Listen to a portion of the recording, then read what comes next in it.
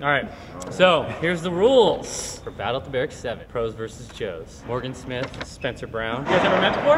Yeah, yeah. You guys have met before? Uh-huh. You guys ever played before? We didn't do that. No. No, Just don't skated so. street. Yeah. Yeah, I went to Baltimore and he showed us around. Oh, sick. This is flat ground only. It doesn't mean anything on flat ground counts. No feet on the ground. That means no no complies, no hand plants, no bonuses, no grabs. No doing tricks that slide on the ground if your opponent popped his trick. I like Weird- to say pop his shit. Oh, no doing tricks that slide on the ground if your opponent popped his shit. Last letter gets two tries. Offensive toe drag gets one do-over. Defensive drag queen has a bigger margin for error, but will ultimately be decided by our referee. Let's keep it clean. Let's keep it clean. It's about the Berrics. There can only be one winner. God have mercy on your wonderful souls. Here's Rochambeau. Rock, paper, scissors. Spencer's going first.